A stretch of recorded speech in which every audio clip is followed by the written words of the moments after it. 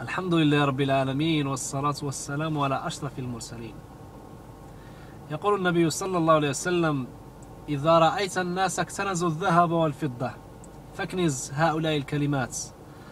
اللهم إني أسألك الثبات في الأمر والعزيمة على الرشد وأسألك شكر نعمتك وحسن عبادتك وأسألك قلبا سليما ولسانا صادقا.